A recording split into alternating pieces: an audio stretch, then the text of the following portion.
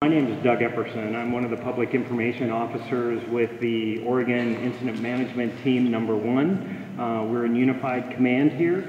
This is uh, Chris Arnold. He's with my counterpart on the Oregon State Fire Marshal side and want to welcome you all for coming. Um, what we're going to do is have some people talk today. We're going to start out with the initial attack on when the fire first started and what was done then, work our way through the State Fire Marshal's office, which were the next ones to come, then our incident management team, which came, and then we're also going to talk about how we uh, how we plan on taking care of this before it's uh, all over, and then we'll talk about the evacuation levels. Uh, good afternoon, I'm Lionel Smith. That was the initial attack IC on this thing. It was about 11 o'clock. Uh, we got a call about a tone out over the radio that there was a fall, small brush fire up on uh, by the Mill Creek Bridge. And as we got up on top, there was uh, there was one here on 100 on top, and from there all the way to uh, 92, there were all there was, I think, nine fires. The wind came in about 11:30 that that morning, and it picked up, and these fires just took off. Um, here you go, Jabbar. Well, like you said, uh, the initial call was by High Bridge, uh, not knowing what the call was. So when we got up there, like I said, once we hit highway, or milepost 99, we came up on the first fire. We also had an engine on it. That was sitting at the top of the grade. So once I noticed there was an engine there, we looked up, noticed there was more columns going as we were going up the road. So my next one was probably milepost 97. As we were going up, we also had engines coming up. So what we did is we had an engine there and then looked up again and we noticed more smoke. So between 97 and 96, I noticed that the cowboy crew had already jumped on this one, so I just told them keep doing what you're doing. Once we got an engine there, they would start assisting them and then try to get what we had out. Those are those ones going back to 97. 97 was probably the, or 90, 99 was probably one of the bigger ones so far. I was actually putting that one at about five acres. So milepost 99, five acres, 97, half an acre, and then 96, I'm going to say that one was probably about a tenth of an acre. Looked up again, I talked with, I got in contact with one of the uh, cowboy crews and they said, yeah, there, was still more fires down the road. So getting past county line, I'm going to say between 96 and I'm 94, we had another fire that was just past county line. I was actually putting that one at about 20 acres, north, northwest winds pushing it towards the subdivision of, of uh, county line. We already had a 750 there, so I said, go ahead and do what you can with what you got. And as we were getting resources, we would start prioritizing where we were going to put them. So 99 and between 94 and 97 was our priorities at that moment. Moving on, 94, at 94 we had actually had two fires. One that was on the north side of the road and one was on the south side of the road. So those two were both active. So at that time, that one came to priority because there was two fires right there. As we moved on, I drove all the way up to uh, the Guerin Ranch. Fire and safety was there, so I figured, okay, we'll put fire and safety in charge of that one since they pretty much had everybody else there. Me and Lionel went and concentrated ourselves back on um, in between 94 or 94 and 93, since I had pretty much put that one as the priority fire. We were kind of limited on what we had. So we actually had all engines, all resources that we had in the agency were actually on this fire, doing what we can with it. And like I said, just the winds had picked up and it just started proceeding. Two of the fires actually came together, and that would be 96 and in between 90, or 93 and 94. Those two fires actually came together. They were starting to move towards the subdivision, so kind of what I'd had everybody do is just fall back, and we kind of went into a defensive mode and started working with the subdivisions, everything along highway or on county line road. So, like I said, the fires were starting to grow together. The winds were picking up. Went into a defensive mode. We started uh, prepping the houses for burnout. Uh, other than that, it's like I said, everything just kind of all came together and fires started getting bigger. in between uh, 94, we had the one on the south side. That one started growing up, and the, the problem we were having with that one, with our northwest winds, every time we would think we had these ones corralled, that one would pick up, blow across the road, and start throwing more fires on us. So it was just one of those things where get what you can and do with what, with what you had. And like I said, we, we tried to do with what we had. Uh, the one on the south side, that one actually picked up, and that one actually made a run on us. And by that time, we were starting to get into the uh, afternoon winds, where the winds were changing, pushing towards the agency. So now all of our fires were actually pushing towards the agency, towards all of the subdivisions. So on both sides of the road, like I said, we just went into a defensive mode and started protecting homes and diverting, trying to divert all fires away from homes until we can get it out into rangeland. And This kind of set the situation for you guys. The way the conditions were set this year was uh, for large fire potential. Um, And that started back in early June, uh, which we were probably at least a month and a, month and a half ahead of schedule. Um, Normally, our fire season starts in June or July, but this year started probably mid-May. So, and, and if you understand climate change, it, it'll kind of speak for itself. Um, the other thing that's going on, I wish we had a map, but uh, we're not the only fire in the Northwest. Um, just to give you guys kind of an update, Nez Perce Nation, um, they got four or three teams on it. They've lost 44 structures. Um, Colville, I believe, doesn't even have an incident management team. That's how strapped it is for the nation. There is no resources around at all. Um, we're lucky to have what we got here. Um, right now, nationally, there are, they are trying to uh, prioritize fires. Uh, right now, structures are the, are the place where priority is happening. Um, it's an unfortunate, Yakima has a large fire over there. It's all in timber. Um, they're actually getting resources pulled off of it because there's so many homes being destroyed and burned. Um, it's just, it's just something that's happened. These conditions have been setting up um, all year long with the, with no snowpack this year for the reservation. It's, it's just been a struggle for us. It's, it's been kind of nerve wracking for us. So, um, you know, like these guys said, as we progressed down the highway, we had enough resources to put one apparatus at each fire. And as these things were growing, um, you can only do so much. Um, we talk about firefighter safety all the time and firefighter exposure to the fire. Um, if you only got one engine, there's only so much you can do. And as we progressed with this, there was a decision made by Jabbar and, and Lionel to, we have to back off, we have to regroup, we gotta worry about people's homes. Incident Commander of the Oregon State Fire Marshal's Blue Team, Scott Majors. First of all, thank you for the opportunity to talk to you today. Um, It's my pleasure to be here to serve you. Um, I want to start this conversation off with, with uh, one thing that I know and I know well. I understand a little bit about fire after 35 years of doing this. And when I arrived on Thursday morning at 6:30, because we were called Wednesday evening around 8 to activate our team. My team represents um, about 40 people um, that were brought in as an incident management team. Not all of them were able to come because their too are spread thin throughout the state.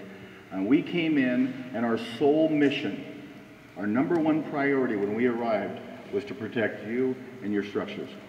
And that's not something we take lightly. But I want to point out, it wasn't just us that did it.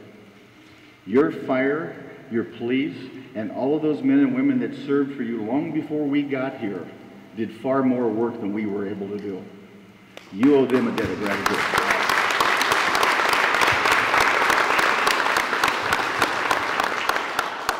They made our job easier. I'm not gonna, t- I'm not gonna, I'm not gonna lie to you, it was a tough job. It was a tough job. When we arrived here, I met this gentleman on the end, John and, and Trey, and I gotta tell you, Trey knows more about fire than anybody I've ever met in my life. He told me that day exactly what the fire was to do, and you know what? We listened to him, and we were able to get ahead of it and do what we needed to do. These two gentlemen asked me to protect their community, asked our teams to come in and do what we can. And that's exactly what we did, and I work not for the state fire marshal right now, but for you all. So when we arrived, we met them, they told us what they wanted. They gave me the objective. This is what you're to do. Protect our houses, protect our lives, and take care of us. That's exactly what we did. In the heat of the battle, you had about 17, there were 17 different fire departments here, representing seven counties in the state of Oregon, for about 125 men and women and their equipment to do that. And we had a daunting task. We knew that this was a big fire. We knew the potential of this fire. And we wanted to get out ahead of it on Thursday morning. So when we got here, we got we regrouped, we called in the resources we need. It took a while to get all of those people here to move them across the state. And once we got them here, we put together a plan that would best fit the situation. But the one thing we knew was going to happen was the situation was going to change hourly. We had a short period of time in the morning to figure out what all of this looked like. We're not from here. So I had to send them out there and says, tell me what's going on so we could put together a plan. And we knew that on Thursday the winds were going to be difficult, that they were going to come up more. And I, I used to work in Redmond, right down the road. I understand Central Oregon winds. They come up every afternoon, and I expected that. Didn't expect these, but I knew they were going to come up.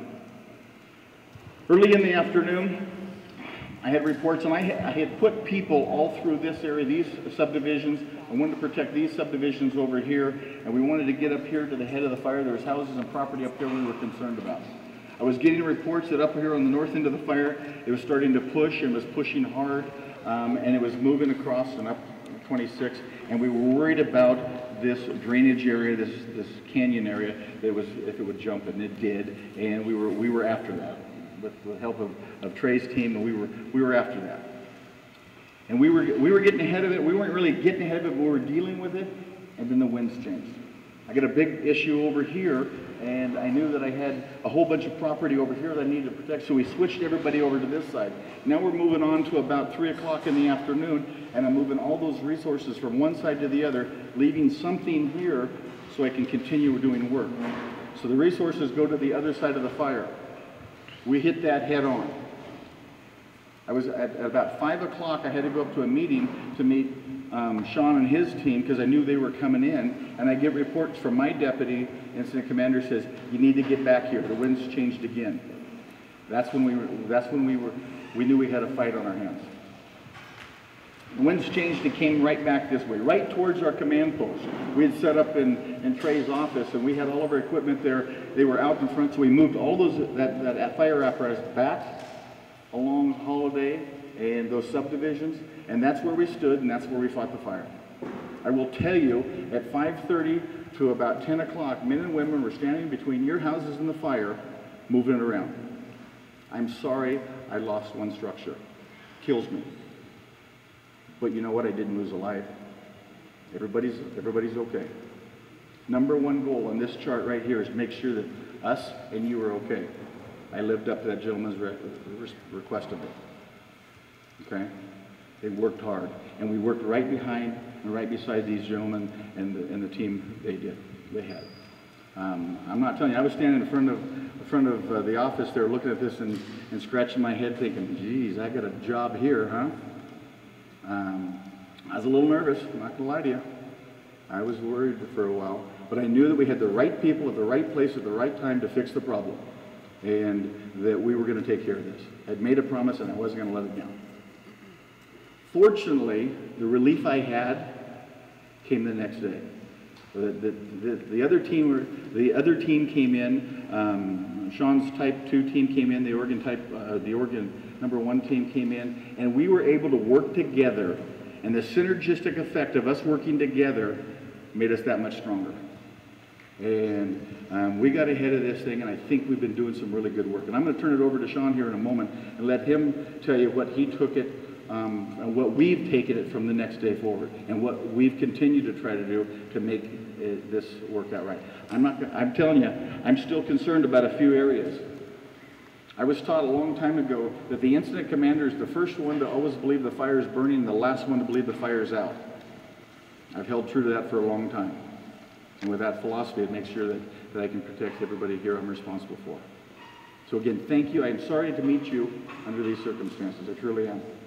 But I'm proud to be able to serve you. Now I'd like to introduce Oregon Incident Management Team Number One Incident Commander Sean Sheldon.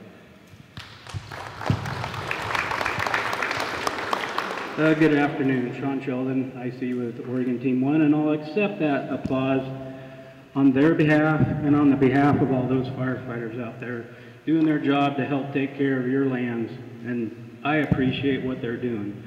Uh, When we got here, I'm sure John and Bobby and Trey were like going, oh gosh, here's Sean again. It's my seventh time in the last probably 15 years that I've been blessed to come uh, fight fire, your nightmare having us here. Um, but I do come with a little bit of knowledge of the grounds here. Um, talking with uh, John and Bobby and Trey, we, and working with Scott, we developed our objectives, and we hold true to those objectives.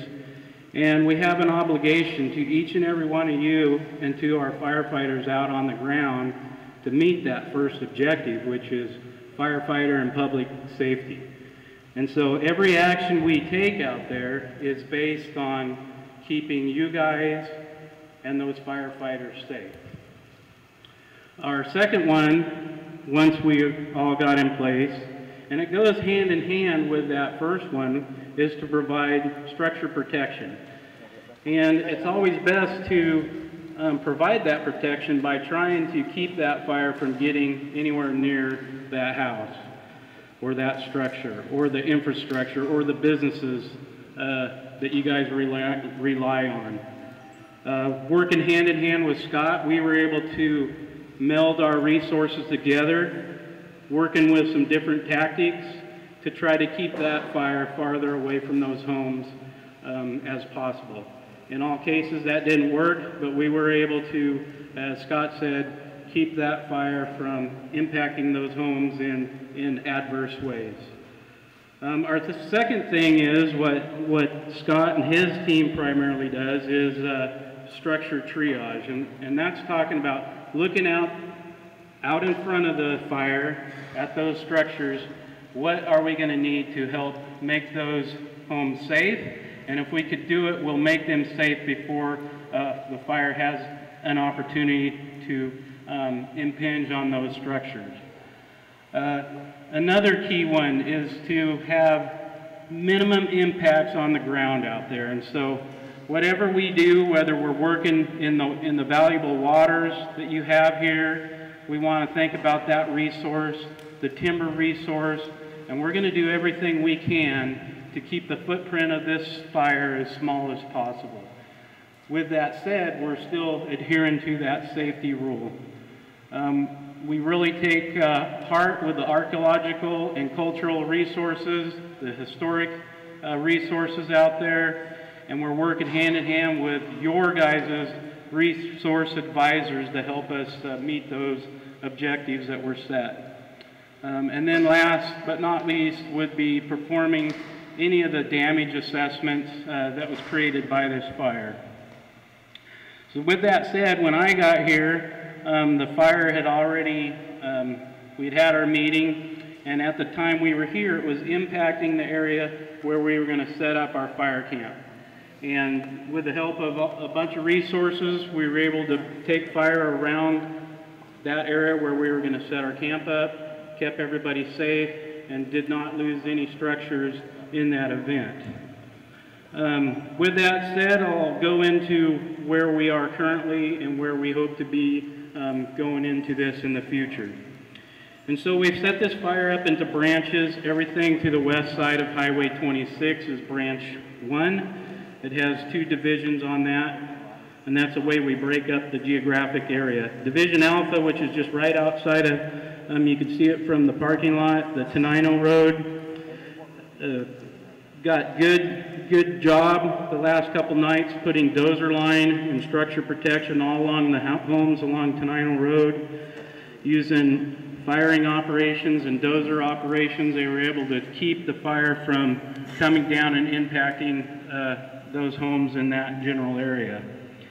Uh, currently, they are working towards the Shitike drainage It's a timbered drainage. It's, it hasn't had a lot of fire history in there, so there is a large abundant uh, amount of fuels in that drainage. It's a steep drainage. It's hard to get through that drainage, and that's where our trouble area is that we're really focusing a lot of efforts in right now to try to find a way to get across that drainage and, and get a foothold around this piece of the fire. Moving up into Di- Division Charlie, they're working the same way, trying to tie um, into Division Alpha um, in that Shitike drainage. We're looking really good along the rest of that division with dozer lines and hand crews and engines uh, working hand in hand to try to get that together. Uh, the areas that you see that have the black on it, those are pieces of ground that we feel really confident that the fire is not going to uh, jump out of those boundaries that we're calling that piece uh, contained. Um, as we come around into Mill Creek drainage and to the Warm Creek or Warm Springs River drainage, uh, the fire's pretty much held um, to the west side slopes of those drainage, has not got up into um, the area that's called the island. The fire, we're trying to, it's a hard piece down there. You guys are all familiar with Beaver Creek. It's really tough to get across that drainage, and the crews are out there currently uh, making really good progress right now, uh, getting across that drainage and holding the fire um, from getting any farther established up on Schooley Flats or up onto the island. And it's sounding like they're really making good progress today. As we come around, we did some firing operations yesterday from uh, the Eagle Book Butte Lookout um, down to Warm Springs River drainage there in the bottom.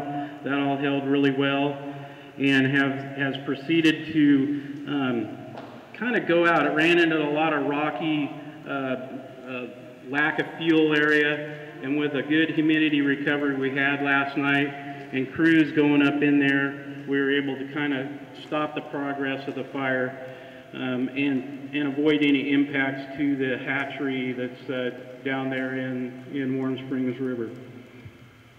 So that's kind of the gist of where we're where we were and and where we're going is that, like I said, our big focus is on the Shitike drainage over here at the Division uh, Charlie Alpha Break. Um, we're hoping we could get across that um, today or tomorrow. We're doing a, a lot of hard work. We've thrown a lot of resources into that.